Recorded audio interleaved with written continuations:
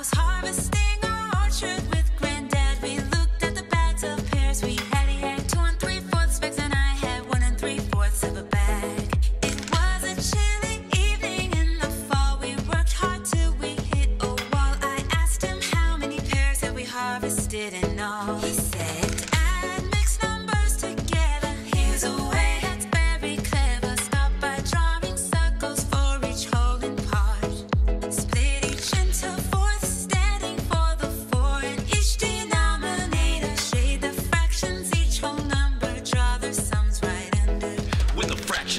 Is greater than 1, carry the 1 to the ones column. Write the whole number sum and remaining fraction in numerals, and we're done.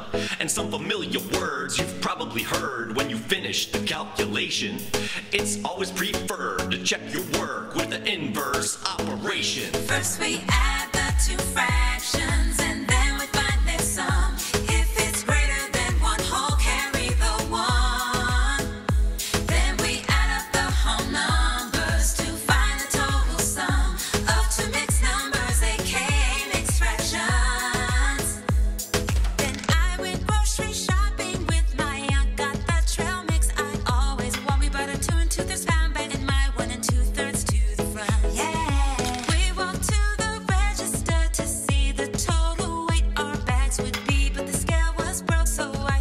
Just leave it to me. Then I said,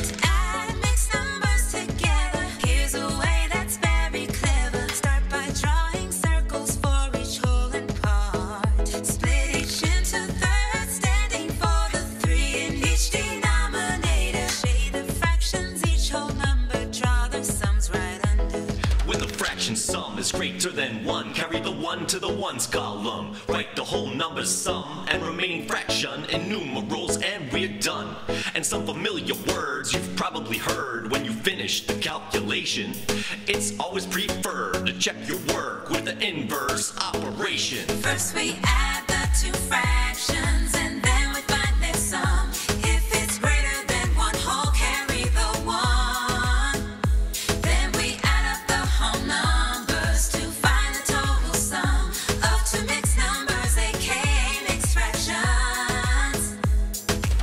Now we've numbers like the pros, but let's learn more. Here's what I propose. Let's suppose we want to decompose just one of those. Here's how it goes. Take one and two thirds and like fine art, draw each third as its own part. And now I gaze upon my beautiful chart and see five one thirds in my grocery cart. And if you search the earth, you'll find a dearth of real life fractions. So it's probably worth decomposing once more.